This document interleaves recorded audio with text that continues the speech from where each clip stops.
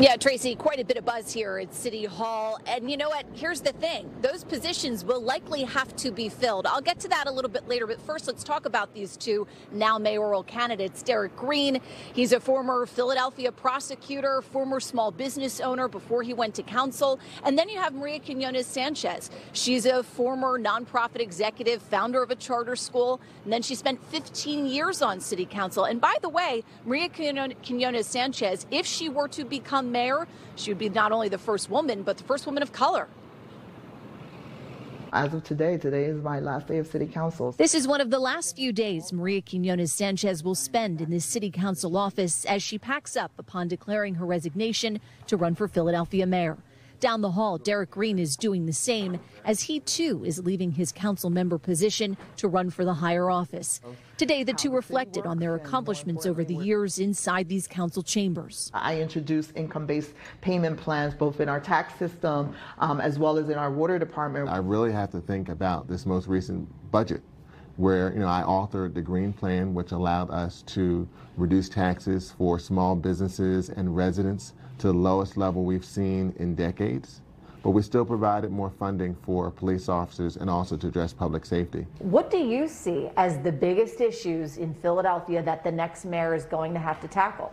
Well, you know, we we all have a concern around public safety. Public safety. For many in Philadelphia, that means the unprecedented homicide rate the city experienced last year and the ongoing gun violence crisis.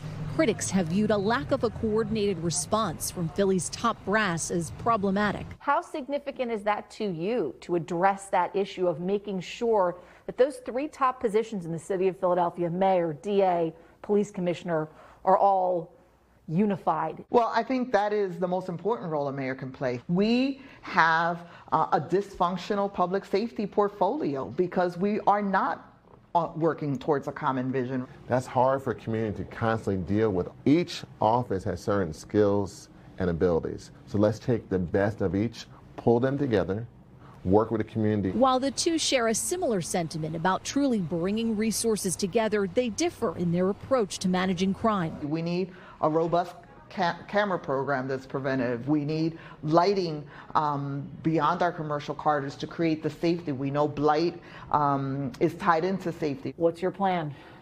Well, we've got to help people to put down guns and pick up paychecks.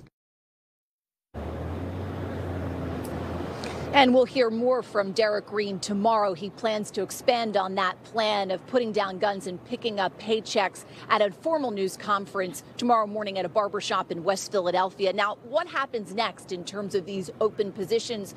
Well, really, that falls onto the council president, Darrell Clarke, his position. He has the authority to declare a special election, but he has a time frame in which he has to do it. That window is coming up very soon. A lot of City Hall insiders expect that he may declare a special election election for the district council seats that are now open, as opposed to the at large seats. That could happen a little bit later on down the road. Of course, we'll keep you posted. Reporting live outside of City Hall, I'm Rosemary Connors, NBC 10 News.